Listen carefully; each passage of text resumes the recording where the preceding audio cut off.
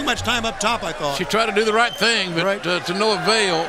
Striking Nyla might not be the thing you want to do. Referee's trying to talk Nyla out of There this you go. thing. And I think Finally. Yeah, there you Probably Finally. talking reason. Oh, oh, wait, wait, no. Oh! What in the world?